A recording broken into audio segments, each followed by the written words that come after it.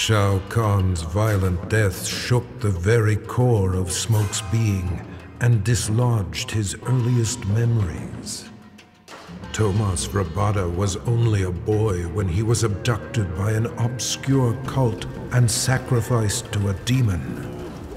Burned alive, he returned to the mortal realm as an Enenra, a creature of smoke and vapor. His captors were helpless against his shapeless form as he lashed out with rage, killing them all. His murder avenged, he returned to his human form, remembering nothing of his former life. Now aware of his true identity, Smoke understands he is no mere assassin. His destiny has been revealed.